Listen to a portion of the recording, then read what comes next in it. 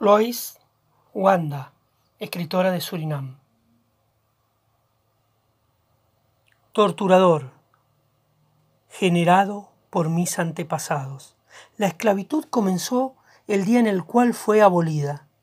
Mi antepasado creó un torturador viviente, una maldición sobre mi cordón umbilical.